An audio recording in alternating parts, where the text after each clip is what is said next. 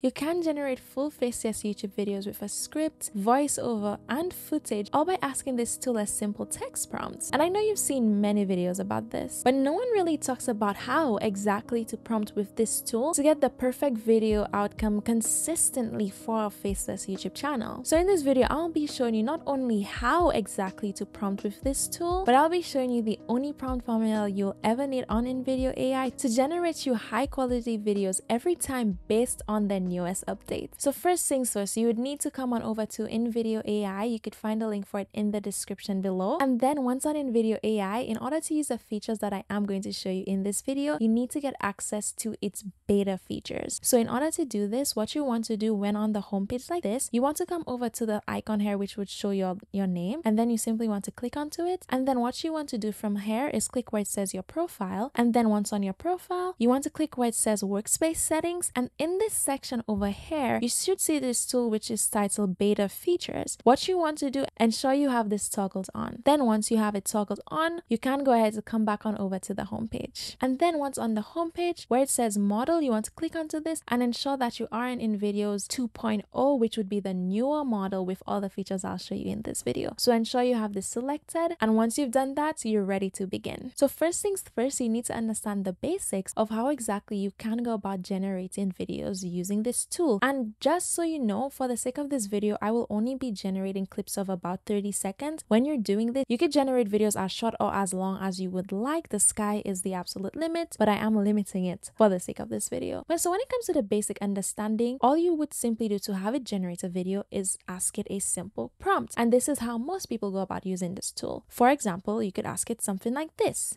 Generate me a length and then you go ahead to insert the length. So I'll say 30 second video type and then you go ahead to say the type of video you'd want. So I could say listicle video, which are these top 10 videos about, and then you'd say the topics. So I'll say best puppies for elderly. And then after you've done this, you can go ahead to hit generate a video, and then it's going to further ask you to define the look and feel of your video. From here, you simply hit continue, and then it's going to go ahead to generate the video for you. Now that it's done, let's take a quick look at what it looks like. This is why you need a furry friend. The right puppy can bring joy, companionship, and a wagging tail into your everyday life. Let's explore the best puppies for elderly companionship. First, the loving Cavalier King Charles Spaniel, known for its gentle and affectionate nature. As you can see, it's a simple video generated from a simple prompt. You get a good script with accurate clips, good voiceover, good background music. Utilizing this tool is simple, but utilizing it this way is not utilizing it to its full capabilities. Because you see, the more advanced your prompt is, the better your video outcome will be, the more advanced your video will be. But hold on now, before you begin to feel intimidated or overwhelmed that you can't come up with a good prompt, you don't need to worry because that's why I'm here. That's why I've done it for you. InVideo has, of course, gone through the newest update a few weeks ago, and I've taken that time to do my usual testing and experimenting to find what I call the most perfect updated prompts. Coming back on over to this section of InVideo AI, the prompt template you'll want to be using is this. I will go ahead to leave the link in the pinned comments below so you can access it for yourself. But how exactly do you go about utilizing this prompt? Well, it's simply fill in the blanks. Let me show you how. So it says create a length and then you insert the length. Again, for the sake of this video, I'm only going for 30 seconds, but you could use however long you prefer. And then language. You now want to insert the language you want your video to be created in. So I'll go ahead ahead to say English. And I know what you're thinking language?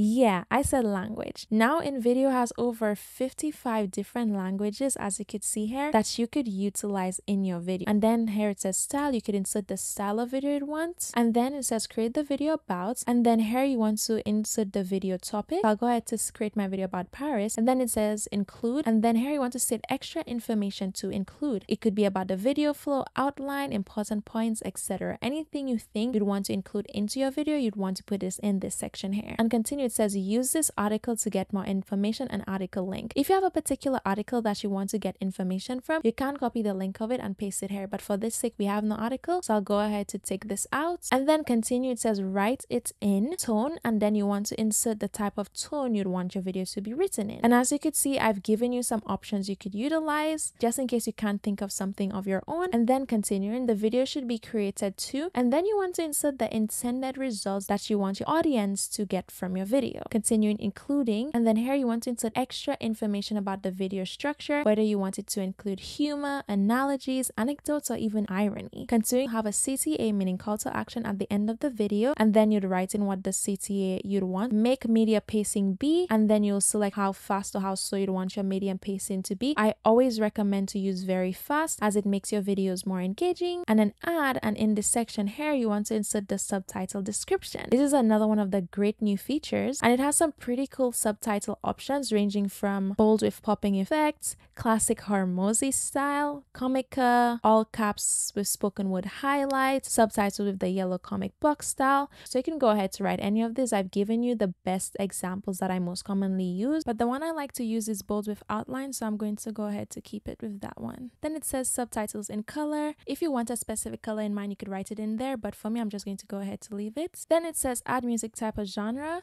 If you know the type of music you want a genre, you could add it in there. I don't like to overthink this too much, so I'll just go ahead to say travel music. That fades in at the beginning of the video and fades out at the end of the video. And then it says use voice over name of voice. Now here, if you've already added in your own voice into InVideo, you can go ahead to write it in. So in my case, I'd go ahead to write in my name, which is Monique. But if you haven't added in a voice yet and you don't want to use this, then there's many AI voices you can choose from. So I'll go ahead to just delete this part and then fill in the rest. So it says use age. So I'll go ahead to say young gender, female, accents here you want to go ahead to put in the type of accent you want. And they've also added in way more accents and dialects that you could utilize for your videos such as midwestern accents transatlantic voices mexican spanish voice canadian french voice and a few more great options you could choose from but i'll simply go ahead to say american accents and now another one of their new features it says add transition type crossfade swipe dissolve i've given you a bit of options though there are many more transitions to choose from based upon my experimenting these three are the ones that seem to work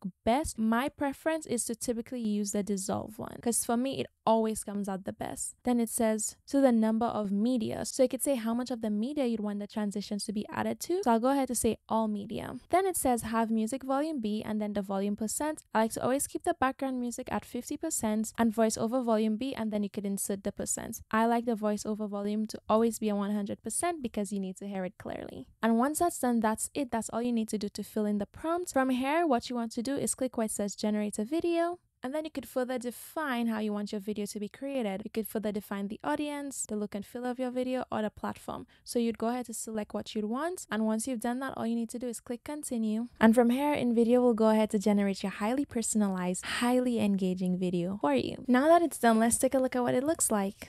I bet you didn't know Paris could be your playground even on a tight budget. Picture this you enjoying a cup of coffee at a charming bistro without worrying about splitting the bill because you're on your own.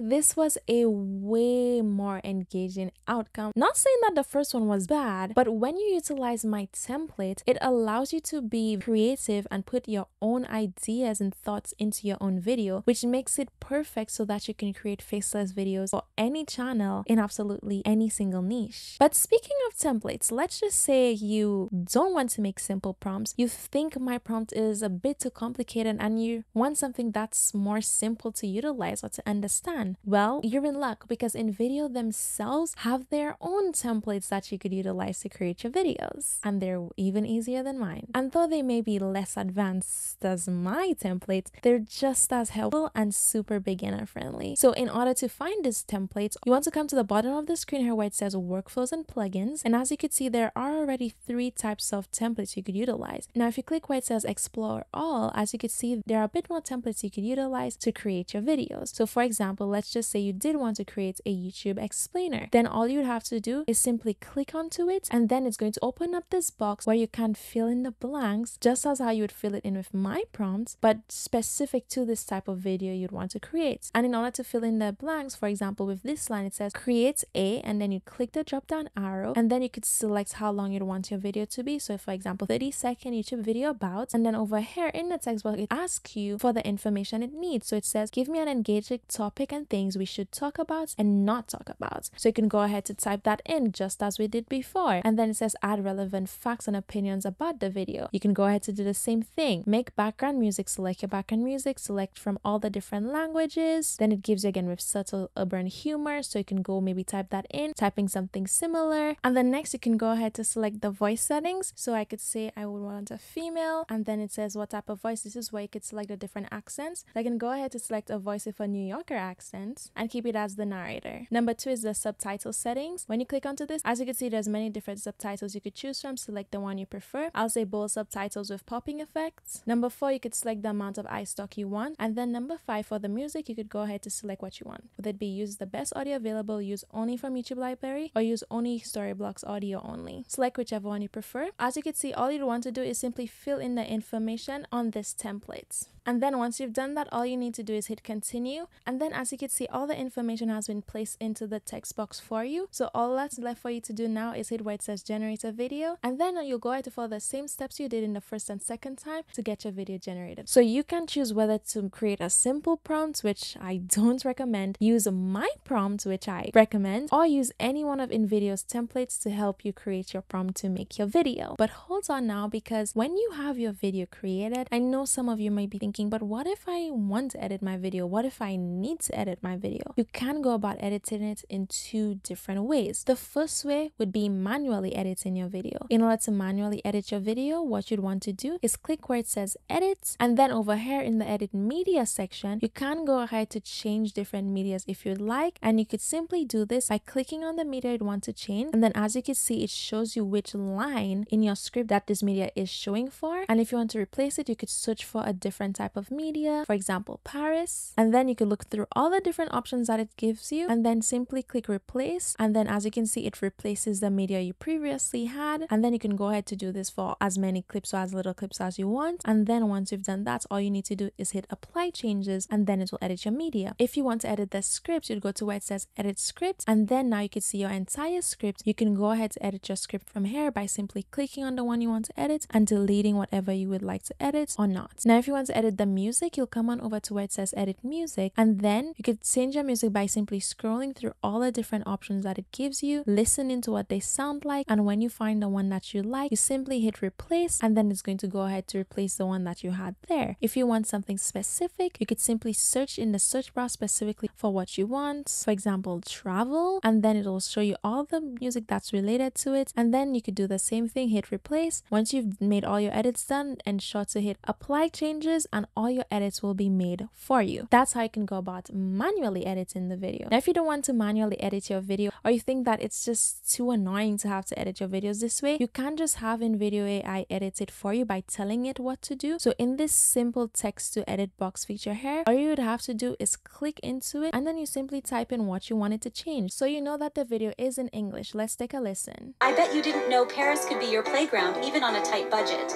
But as I mentioned earlier, you can change the video to any language you would like. All you would do is ask it this, change language to, and then put the language you'd want to change it to. So for example, Spanish, and then hit generate. Now it's done, let's take a listen. Apuesto a que no sabías que París puede ser tu patio de recreo, incluso con un presupuesto ajustado. Let's try French. Je parie que tu ne savais pas que Paris peut être ton terrain de jeu, même avec un budget serré. Let's try Hindi. मैं शर्त लगा सकता हूँ कि आपको नहीं पता था कि आप कम बजट में भी पेरिस में खूब मजे कर सकते हैं And lastly, let's try something like Dutch. Ik durf te wedden dat je niet wist dat je ook met een klein budget enorm kunt genieten in Parijs. They all sound pretty impressive to me. Now, I don't speak any of this language as well, a little bit of French. As for the others, you guys let me know if it sounds pretty accurate, though just from listening to it, sounds pretty accurate to me. And that's just only 1% of the languages. There's many more you could choose from. Now, let me just say that this text edit feature is a truly a game changer. And I feel like not many people take advantage or understand how easy this feature makes your workflow and how great it really is. So maybe I should create a deep dive over how exactly you could use this one tool. So for those of you who don't want to manually edit anymore, you'll finally understand how exactly you can go about utilizing this tool. So after watching this video, I don't want to hear anybody else saying they're not sure how to use this tool or they can't seem to get high quality videos because I showed you exactly how you can do so with more experience, with my prompt, or even as a complete beginner using a template. So go ahead and give it a try. But hold on now, don't click off this video yet because if you want to learn more from me, which you probably should, then you need to check out this other video on my channel.